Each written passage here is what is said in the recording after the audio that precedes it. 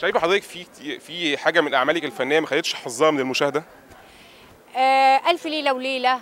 آه، كان لازم يكون نجاحها أكبر من الحجم اللي هي نالته رغم إنه هو في نجوم كتيرة وشركة الإنتاج سينرجي one of the best يعني ولكن هي حظها كان كده في رمضان.